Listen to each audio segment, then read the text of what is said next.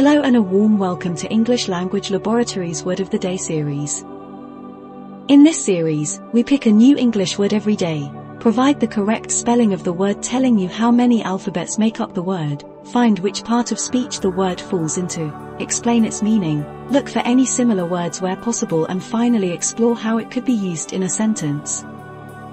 Do you have a word collection? How many words have you collected? Join us and learn new words in a fun and easy way.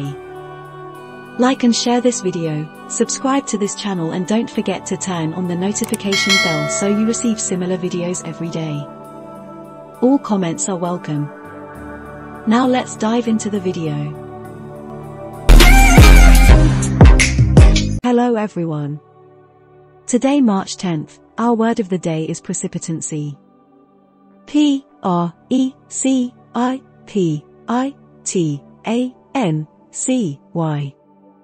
Precipitancy. Precipitancy is a 12 letter word and a noun. Remember a noun refers to a thing, a person, an animal, a place, a quality, an idea, or an action. Precipitancy means undue hastiness or suddenness, without warning. In other words, rashness or suddenness of action. Similar words include rush, suddenness, abruptness, haste, rashness, hastiness, hurriedness. Examples of sentences using precipitancy are Matters were taken out of his control by the precipitancy of his commander.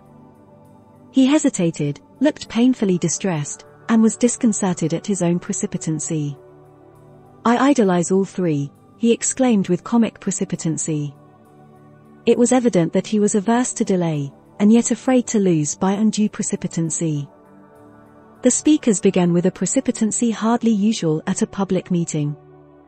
Patricia looked at the girl, rather bewildered and breathless by the precipitancy with which she made friends. Make sure to save this new word, precipitancy, so you can practice using it in your everyday sentences.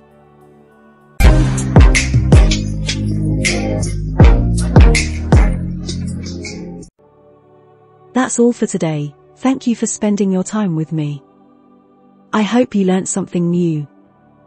Don't forget to like and share this video, subscribe to this channel and hit the notification bell so you receive similar videos every day. Have a fulfilling day. See you tomorrow. Cheers.